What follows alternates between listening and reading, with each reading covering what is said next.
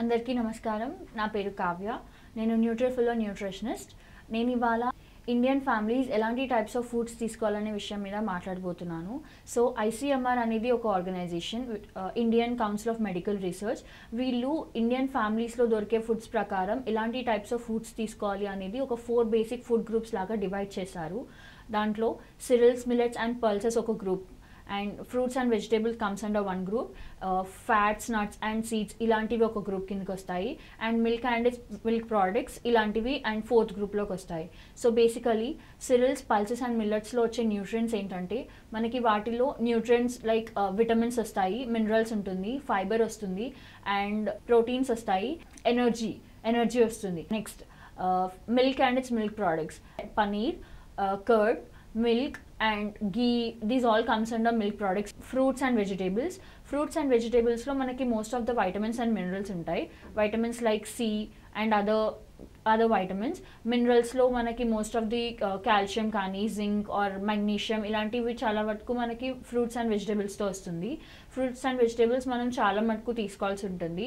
Like cereals ఎంత తీసుకుంటామో దానికి దానికి తగ్గట్టు మనం ఫ్రూట్స్ అండ్ వెజిటేబుల్స్ తీసుకోవాల్సి ఉంటుంది. And next comes fats and fats oils and seeds so ఆయిల్స్లో మనకి మోస్ట్లీ వెజిటేబుల్స్ ఆయిల్స్ ఉంటాయి. Like sunflower oil groundnut oil palm oil gingelly oil these all comes and oils so ఇవి కాకుండా మనకి oils అనేవి animal ప్రోడక్ట్స్లో కూడా వస్తుంది. లైక్ ఫిష్ ఆయిల్ అని. And oils also from comes from seeds like badam cashew and walnuts and flax seeds ఇలాంటి వాటిలో మనకి ఫ్యాట్స్ హెల్దీ ఫ్యాట్స్ అనేవి వస్తాయి which needs to be con consumed daily so ఒక మనిషి తను డైలీ ఇలాంటి టైప్స్ ఆఫ్ ఫుడ్స్ తీసుకుంటే లైక్ ఈ ఫోర్ ఫుడ్ గ్రూప్స్ అనేవి తన ఫుడ్లో ఇంటే ఇన్వాల్వ్ చేస్తే తనకి కావాల్సిన పోషకాలు అన్నీ ఈ ఫుడ్ గ్రూప్స్లో నుంచి వచ్చేస్తాయి. తను ఎలాంటి బయట నుంచి foods like food protein powders కానీ లేదంటే ఏదైనా సప్లిమెంట్స్ కానీ ఇలాంటివి తీసుకోవాల్సిన అవసరం ఉండదు.